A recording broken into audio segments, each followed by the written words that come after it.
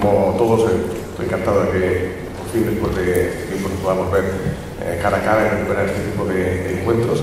Además, en, mi caso, doblemente, digo, porque bueno, agradezco a los organizadores que nos hayan invitado, porque en mi caso no es un halago gratuito, porque hace un mes estuve de vacaciones, así que he podido disfrutar esta tierra. Eh, hoy quería hablar un poco enlazando el tema de la sostenibilidad con nuestros acuerdos transformativos y saber lo que, saber lo que estamos haciendo en este, en este campo, en los 10 minutos que tenemos. Entonces, eh, por una parte, eh, precisamente en abril de este año 2022, nosotros firmamos, bueno, somos signatarios del Global Compact de las Naciones Unidas y lanzamos nuestro informe de progreso, donde alineamos dentro de las líneas que están relacionadas con una universidad, con una editorial universitaria los objetivos de desarrollo sostenible. Y eh, eso implica, por una parte, pues, acciones, digamos que todos conocemos, de, mm, bueno, como comentó ahí, la reducción de papel, eh, plásticos, eh, tengo, por ejemplo, en el techo de nuestras oficinas una de las células fotovoltaicas más grandes de, Inglaterra, pero también buscar modelos sostenibles dentro de, ese entorno. Eso significa que, por ejemplo, respecto a los, a los libros, este año trabajamos un modelo piloto que se llama Flip to Open, que es eh, una vez que un libro electrónico ha pasado, hicimos una prueba, un experimento con 30 títulos, ya que un libro ha superado, digamos, ha cubierto sus gastos de publicación, digamos, lo pasamos a formato acceso abierto.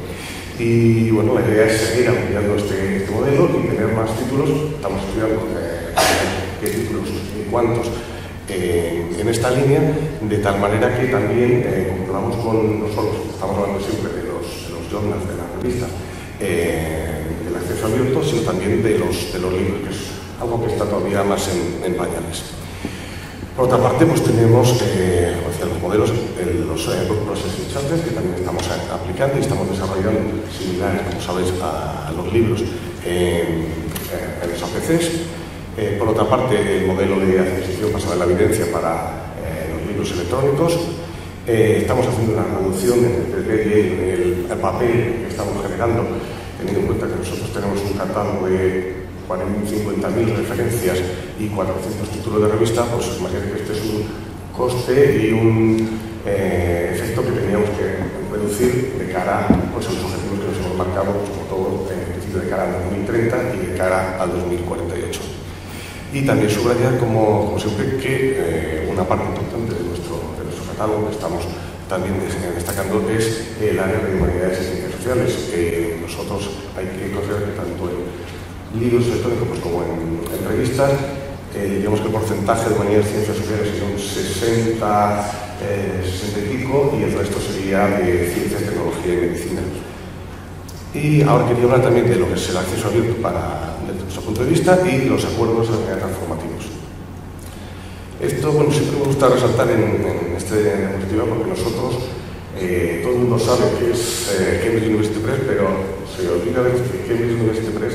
es una editorial, pero que somos parte de una universidad. Somos un departamento que ha crecido de tal manera que se ha desgajado. Por lo tanto, eh, como ves, eh, a la izquierda y a la derecha veis nuestros estatutos y eh, prácticamente coinciden en la idea de desarrollar, expandir el conocimiento, siempre en los niveles más altos de calidad, a nivel universitario y superior. Por lo tanto, nosotros estamos alineados con los objetivos de la, Universidad de Cambridge, con todo lo que ello implica.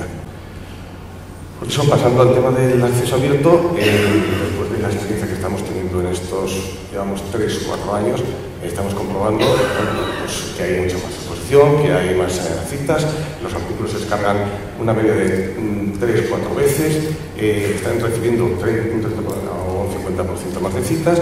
y luego están disponibles para todos en línea, lo cual es una, ventaja indudable. nosotros, por tanto, hay una parte que se ve pues, exteriormente con los acuerdos transformativos, pero también hay una parte interna eh, como editor que estamos, la cual estamos comprometidos a convertirnos en un horizonte,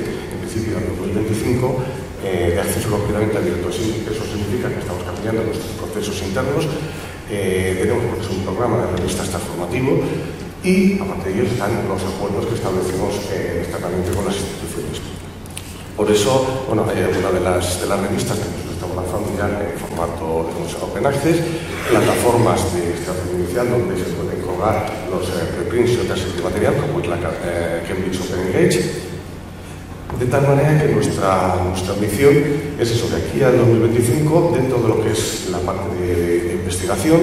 eh, alcanzar el 75% de publicaciones en acceso abierto. Como podéis ver en el, en gráfico, abajo a la, izquierda, pues ha ido evolucionando hace eso, 3-4 años, eh, ser un 10%, el año pasado era un 37% y estamos alcanzando ahora alrededor del 40, 40 de tal manera que vamos, eh, por que vemos en la, buena, en la buena línea.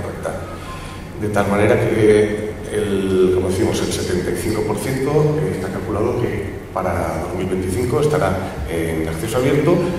el contenido de investigación, siempre hablando de ello. Así por, por lo que estamos haciendo es eso, que nuestro programa de revistas, como muchos son ahora 410, 412 revistas de cara al 2023, pues como podéis ver también por los gráficos, desde el 2018, que había en World Open Access un porcentaje pequeño, ha crecido, todavía sigue siendo pequeño, pero sobre todo el aumento mayor ha sido de las, de las híbridas y se han crecido sobre todo eh, las revistas en acceso que no tenían, que no tenían acceso ¿Por qué diréis todavía queda un margen? Porque son revistas que nosotros publicamos en nombre de sociedades y por lo tanto eh, estamos en acuerdo con ellos para irlas convirtiendo paulatinamente. Y las nuevas incorporaciones, desde luego, pues o parten eh, abierto o las estamos transformando poco a poco. Así pues, de acuerdo eso, en línea con eh, lo que estamos haciendo es eh, también presentar nuestras revistas para que les den el estatus de revista transformativa, eh, de tal manera que bueno, va cambiando, estos datos son recientes, pero ahora mismo hay, eh, como indica ahí, 209 revistas con dicho estatus, de tal manera que eh, cada vez un porcentaje mayor de todo nuestro fondo, digamos, cumpla esta, estas características, esta normativa del, mandato de coaliciones. Así pues, para nosotros lo que hemos querido, es fundamental y está funcionando, son los acuerdos transformativos. Como ves ahí, eh, ahora hay más de 300 instituciones en todo el mundo, lo cual creemos que significa que ha habido un buen feedback por parte de las universidades.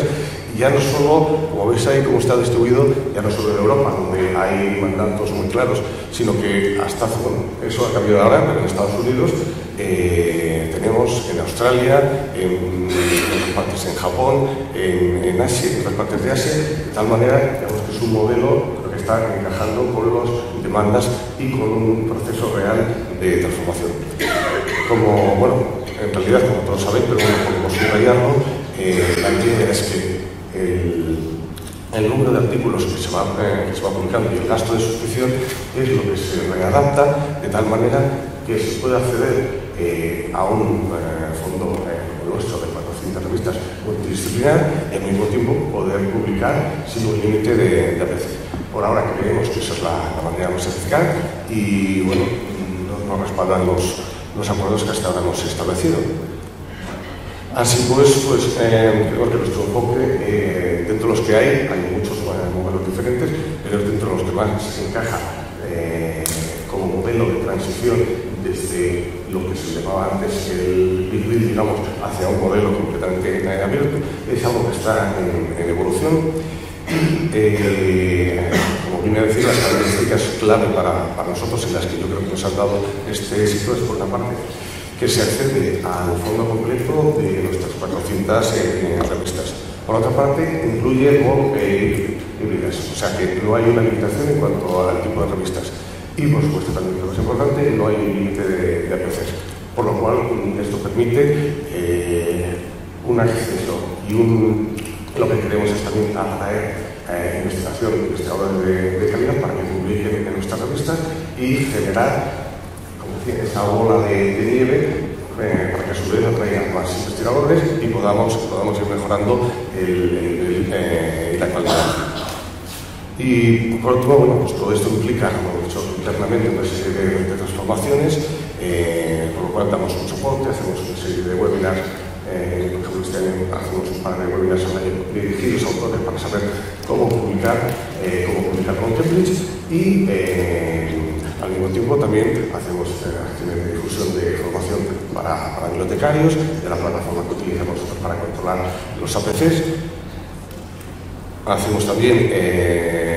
tenemos un enfoque dedicado a resolver incidencias, de tal manera que creemos que ya no solo un, digamos, por estar en